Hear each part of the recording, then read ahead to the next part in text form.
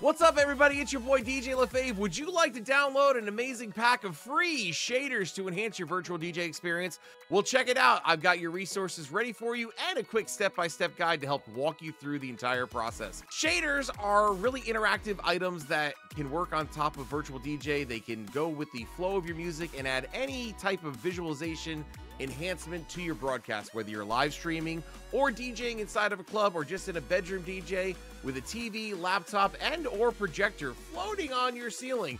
This tutorial is for you. All right, so what are you gonna do? How do you gotta get these shaders? What is a shader? Where do I find them? Well, I always tell everybody this is where you gotta go first. Whenever I'm teaching my lessons, I'd like you to first go to Virtual DJ and select the Pro layout. We're gonna select the Pro layout.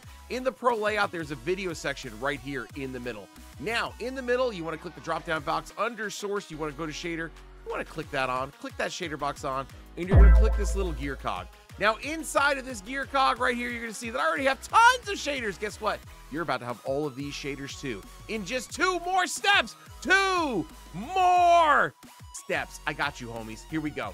Okay, so we're going to close this. We're going to close Virtual DJ out. Oh, no, the music stopped. I want you to go to the link in the description of this video, and it's going to bring you to a web page that we're currently building, but trust me, it's going to be there with the written steps as well as a downloadable link for you to grab this folder. It's going to be called visualizations, and you're going to right click and unzip that folder. Once you click and unzip that folder, you're going to get this whole slew, slew. It's a slew of 420 items. Co uh, select all, copy them, and then you're going to go to this path right here, app data, your username, local, virtual DJ, plugin 64, visualizations, right click, paste those suckers, restart virtual DJ, and you will now notice that your shader folders look just like mine. And now you've got a whole bunch of cool shaders that when you play music, guess what? They activate and move with the music. If you've got any other questions, virtual DJ related, live stream related, or just any kind of question, just uh, let me know in the comments. And also make sure you say hi.